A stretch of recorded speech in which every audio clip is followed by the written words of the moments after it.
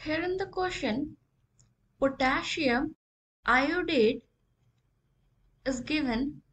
So potassium iodate.